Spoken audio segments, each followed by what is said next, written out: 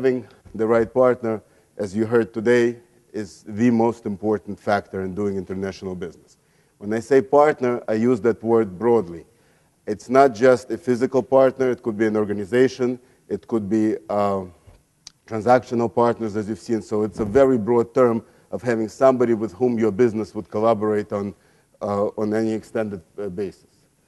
When we say finding a, a right partner or a wrong partner, it goes far beyond somebody who is dishonest, somebody who is uh, uh, disreputable. A lot of partnerships, and whether they're institutional partnerships or individual partnerships, have failed because there, were there was a misalignment of goals, there, was, there were clashes of personalities, cultural clashes, uh, desire for control of the venture. So those are the factors that often impede what seemingly on paper is a successful partnership. A good partner is a partner who understands you, with whom you have trust, with whom you have complete, complete understanding, and uh, with whom uh, you, you, your goals and ambitions are aligned. But above all, uh, we believe that loyalty, loyalty and integrity the is the fundamental, fundamental cornerstone upon which every partnership should be built. They will be managing, they will be representing your brand. That's the first and foremost important factor that they need to understand. That most time when you hire a distributor, when you hire a manager, they're looking to produce uh, revenue for your company and they're looking, focusing on the upside.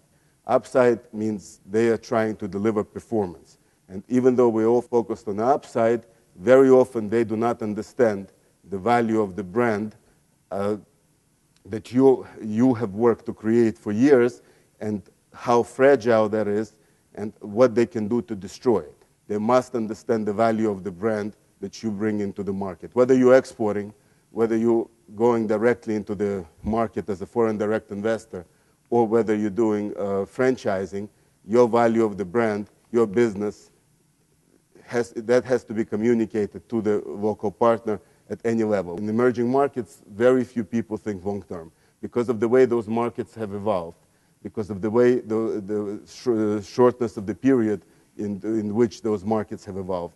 Their focus is on short term gain, short term profit. If you are coming in and want to build an international business long term, and you must, you have to have a long term focus, otherwise, you can't really succeed in the foreign market. Uh, you need to communicate the goals and uh, your objectives to, the, uh, to your partners in order to avoid such disparity. Partners have to complete, uh, represent your company properly.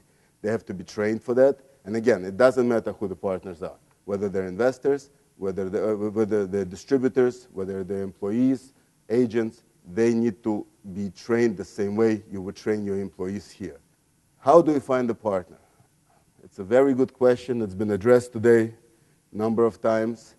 It's, like I like to say, it's a bit like finding a spouse. It takes luck.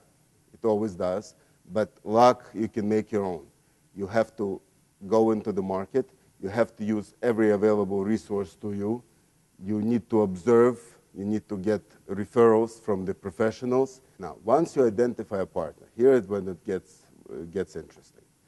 Uh, it's very, very important to build the relationship because I agree with all the previous speakers that it was said before. Relationship is paramount. Relationship is absolutely fundamental in terms of your success, but to build this relationship, there are certain steps that need to be taken. You have to invest in the relationship from day one. You have to invest significant resources of time. You have to invest significant resources of, of financial resources and you have to develop it in a way that would not undermine it uh, as it's built.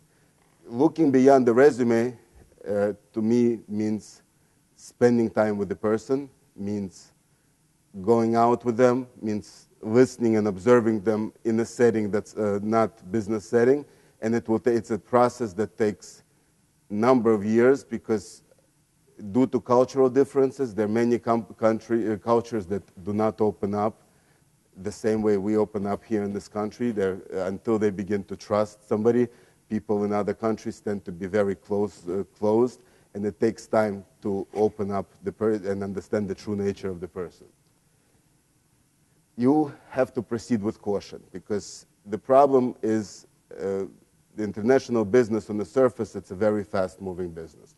Everything happens, statistics, we feel the growth, we feel that if we don't get on the train, we will miss the train. But on the flip side, it takes years of commitment to really do it right. Trust is the fundamental factor of, of, of any partnership. Yet, the, because you are often in the US and the partner sometimes is thousands and thousands of miles away, it's not easy to uh, it's not easy to have the information flow to you or to, for you to observe things that are going on locally.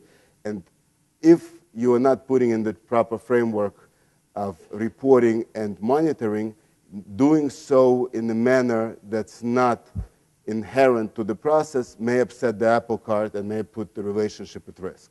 You want to have a leverage in the partnership. No matter how nicely we smile and how soft we are in doing business, you have to have leverage in the partnership because it's a real world. Uh, international markets are very, very dangerous place in a lot, of, a lot of times, not for the faint of heart. People have, have uh, had their businesses snatched from under them, shipments have been stolen, payments have not been done. It's all real. I don't gloss over this, it's all part of this. Have a plan B, because cultivating a partner, just like uh, pilots in the Army or Air Force, you invest in the relationship, it becomes a very, very valuable product.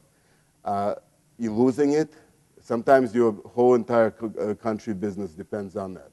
So you need to have contingency plans as to what will you do if the partner runs off with the money or gets hit by a bus or something else happens.